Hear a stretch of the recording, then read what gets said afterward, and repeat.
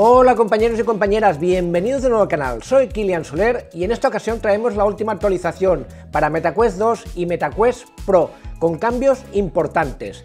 Mientras esperamos el lanzamiento de cara a septiembre de las futuras Quest 3, Meta ha lanzado la actualización V55 con una subida de rendimiento muy remarcable tanto para Quest 2 como para Quest Pro. Ya la he podido instalar en mi dispositivo y vamos a ver todos los cambios desde dentro. Antes de empezar con todas las características nuevas que lleva esta actualización V55, vamos a hablar un poco del procesador que lleva las Quest 2.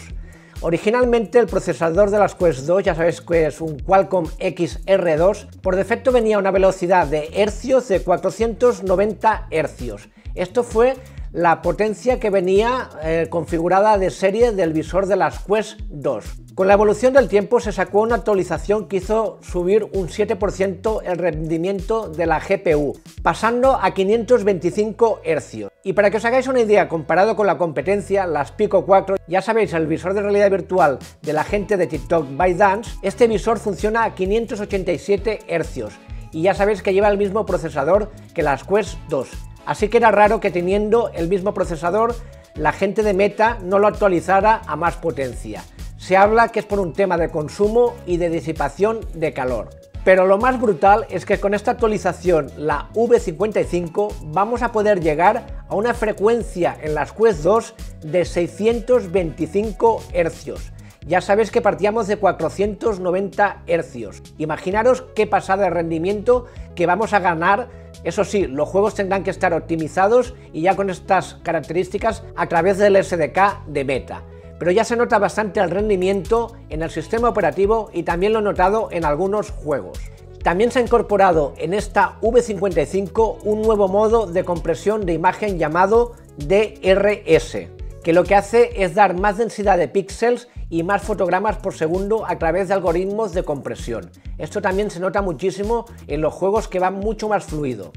Y todos estos cambios parecen que están habilitados para que no haya tanta diferencia con el rendimiento que va a tener las futuras Quest 3, que ya sabéis que va a doblar como mínimo el rendimiento de las Quest 2.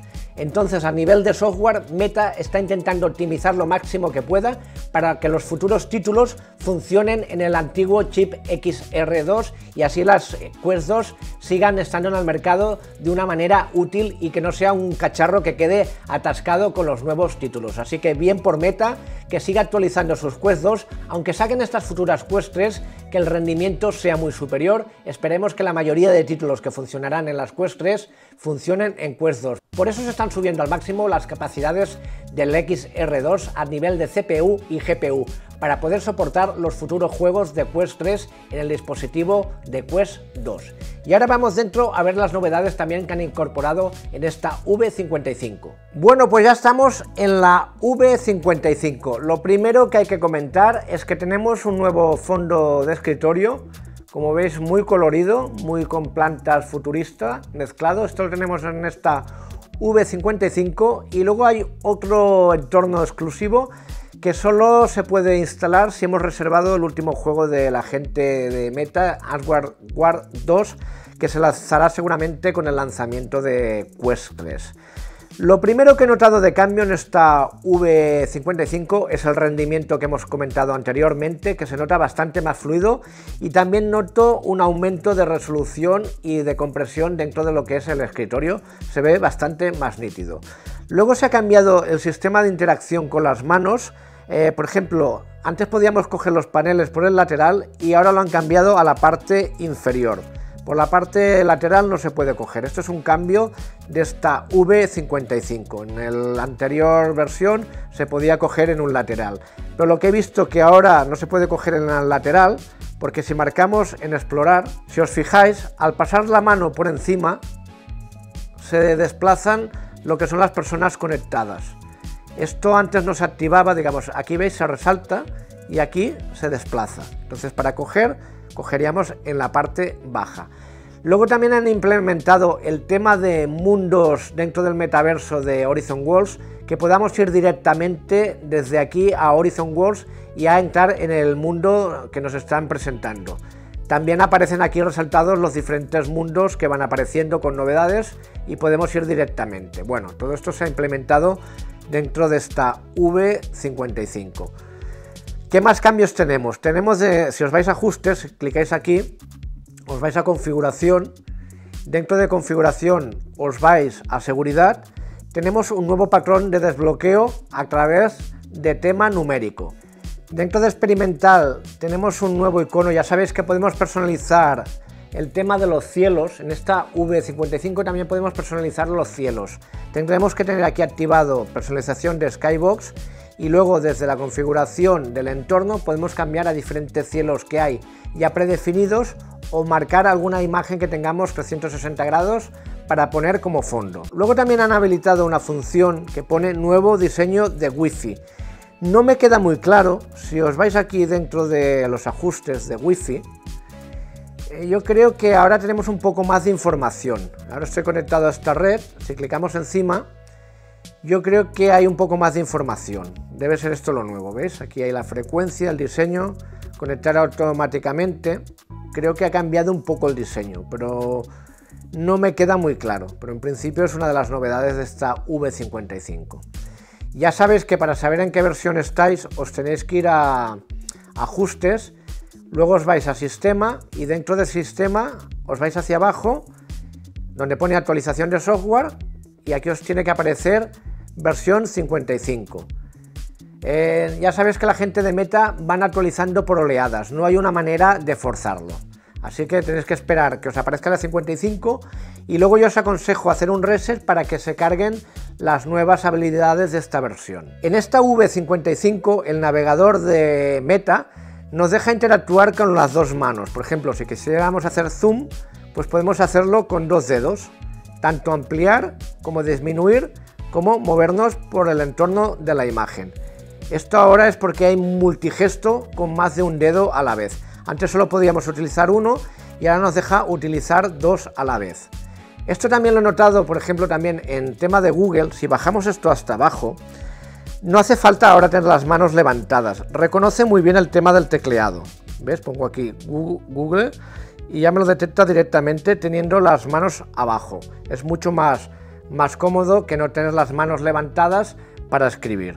La verdad es que tener el teclado en la parte más baja es mucho más cómodo para escribir que no estar en la parte frontal, porque ahora escribimos directamente de una forma mucho más fácil. ¿Veis? Y enseguida reconoce el utilizar más de un dedo a la vez. Esto también es una mejora de esta V55, sobre todo esto de poder tener el teclado en la parte baja Así no tenemos que levantar las manos en la parte frontal y podemos ir escribiendo de una forma mucho más fácil. Otra mejora de esta V55 es el tema de edición de avatares. En esta V55 tenemos muchos más trajes, más ropa, más accesorios, más tipos de gafas, tenemos nuevos piercing en orejas y en nariz, que antes no lo teníamos, y aparte veis más rápidamente lo que es la actualización. Por ejemplo, a ver si cojo un piercing en la oreja, una vez le doy a guardar, si os fijáis, ahora aparece como una especie de círculo, actualizará, entonces me pondrá el piercing en la oreja. Bueno, una mejora para ver el tema de, ¿veis? Que me ha puesto ahora el piercing en las orejas, ¿lo veis? Podemos poner piercings en la nariz, en las orejas, ponernos pecas, bueno, poner un montón de tonterías que lo podemos hacer ahora automáticamente desde el editor de avatares y bueno, poco a poco se van actualizando con mejoras ah, para los avatares. También hay nuevos tipos de pelos, nuevas gafas, nuevos tipos de ropa, bueno, un montón de características que tampoco teníamos hasta ahora. Tarda un poquito en actualizarse, pero veis, ya se me han actualizado el tema de, de, los piercings o de lo que serían las decoraciones de las, de las orejas. Luego también se ha mejorado la aplicación de Messenger. Ahora ya es el 100% como sería la aplicación de Messenger de Android, de un teléfono móvil, con todas las mismas características.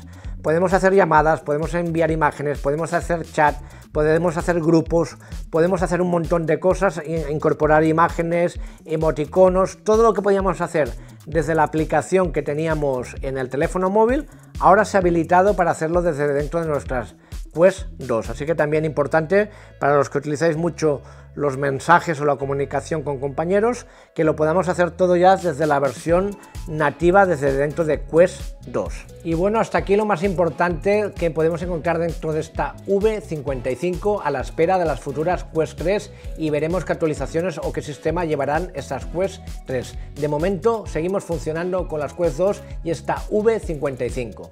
Bueno, pues hasta aquí el vídeo de esta V55. ¿Qué os ha parecido? Dejármelo en los comentarios. A mí la verdad me parece una pasada lo que está haciendo la gente de Meta, eh, actualizando constantemente el visor, exprimiéndolo por todas partes a nivel de software, hasta el último hercio de rendimiento se está intentando mejorar para que todo vaya más fluido y se nota que Meta está siempre encima de su visor, actualizando un montón de funciones, características y rendimiento. Así que muy bien por Meta, que sigan dando vida a este gran visor que son las MetaQuest 2. Con muchas ganas de las MetaQuest 3, pero de momento vamos a seguir tirando con las MetaQuest 2. Dejadme comentarios qué os ha parecido esta actualización, ¿os la esperabais? Sobre todo dejadme feedback, que me ayuda mucho ver la comunidad que estáis ahí apoyando todos los vídeos que voy sacando. Si os ha gustado el vídeo, darle a like, sobre todo suscribiros al canal y nos vemos en próximos vídeos. Hasta la próxima.